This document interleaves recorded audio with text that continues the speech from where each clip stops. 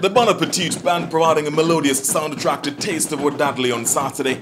The cultural offerings were as delightful as the food was delectable. I mean, you just would, would have displayed a lot of talent here. The Bon Appetit um, drum corps, what, which is out of the Adventist. And what um, the Taste of Wadadli does is just bring everybody together on a single day like this.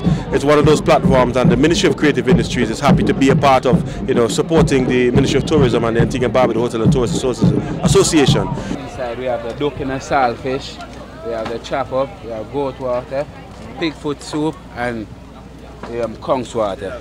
Jerk chicken. Oh, Yeah. so you visitor or, or Antigua? Well, I, I live here. You live okay, okay, Definitely. okay. And um, so so you- you're a jerk chicken fan. Definitely. Another highlight of the early afternoon was the hot sauce competition. It was won by two siblings. Homebrew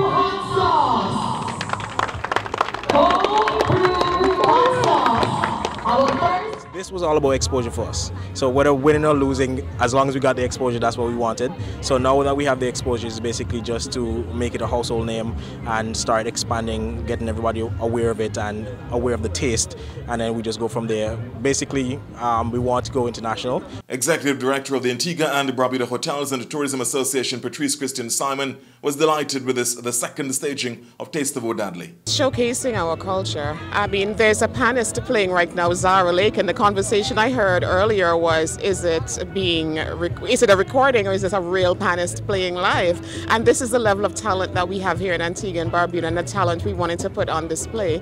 Um, it's just a part of who we are. We had the drum corps coming through, the Point Iron Band is coming through, we have exclamation coming through. So we just wanted to showcase and also have, you know, the bit of food and vendors, uh, food vendors, artisan vendors, and just have a, a great afternoon celebrating our culture.